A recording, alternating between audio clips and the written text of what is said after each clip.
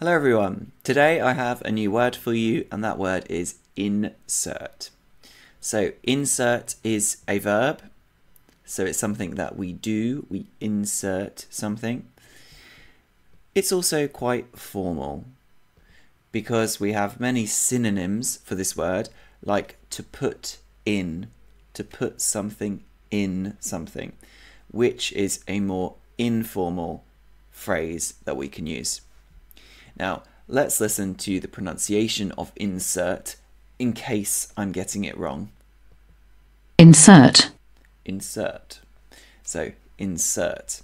And the American pronunciation. Insert. Insert. Now, here we have the meaning to put into, which is the more um, casual or informal version of this word. Here is the definition to put something into something else. And here is an example. Insert the coin in the slot. Now, a time when you will probably hear this sentence, insert the coin in the slot, is in the context of arcades. Here is a picture. Let me make that so you can see it. That. There we go.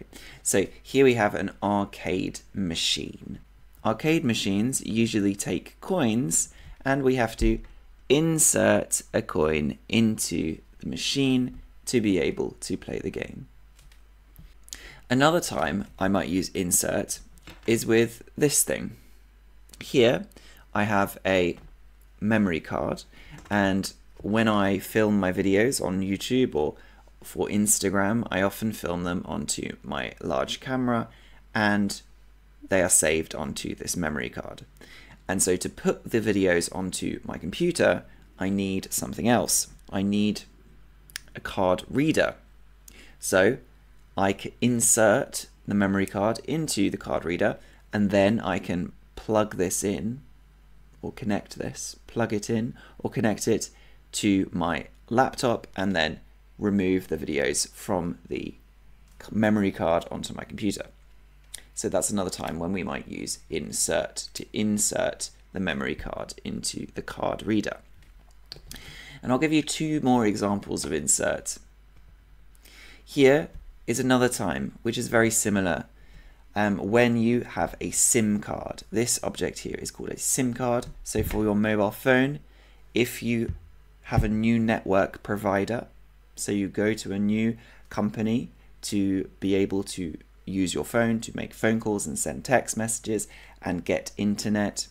Then you get a new SIM card, a new SIM card, and you insert this into your phone. One final time, if we look back at the dictionary here, we've got to add to writing. So it's often used in this context too to add something to the middle of a document or piece of writing. He he inserted a new paragraph. Okay, so here I have a random paragraph. Now, if I want to add to this paragraph, I might insert a new paragraph or I might insert a new word so I think here I'm going to insert a new word. I'll insert another color there. And here, I think I'll insert a new word. Okay, so when we add a new sentence or we add a new word to a document on the computer, then you're inserting a word in there. Or you could simply say to add a new word or to put a new word into the document. Okay, so that is the end of this video. That is all I have for you for insert. I hope that was useful and clear for you. Um, in the comments, see if you can write a sentence using the word insert. I will see you again soon. Thanks very much. Have a good day.